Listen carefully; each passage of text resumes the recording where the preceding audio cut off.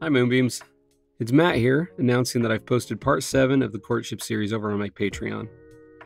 Now, for those of you that have followed this series, we're chronicling a relationship from the very first meeting through the first date, the first kiss, the I love you, and in this installment, we're on our way for me to meet your family for the first time.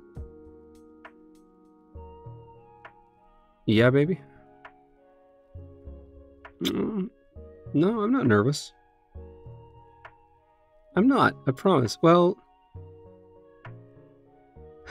okay, maybe a little bit.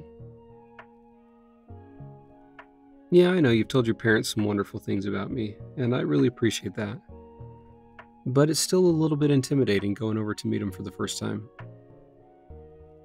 I really want to make a good impression. I want them to know that their daughter's in good hands. And I want them to know how precious you are to me. So if you'd like to hear that and the other installments of the series, go over to my Patreon and sign up at the Polaris tier. Happy listening. I know we haven't been throwing around the M word a whole lot yet, but we've been going out for a while now, and I'm really, really in love with you. I think we have a long term future together. I really do. And so it's important to me. Well, it's important to me, first off, because I know it's important to you. Your family is your family, and I know it's important to you that they like me. And I want to get along with your parents.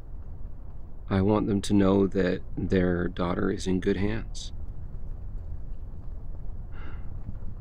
I want them to have confidence that you've chosen well, that I am the kind of guy that you think I am, and that their little girl deserves.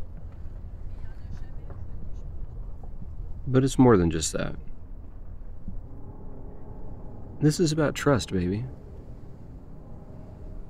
Well, I think you also think we have a long term future together.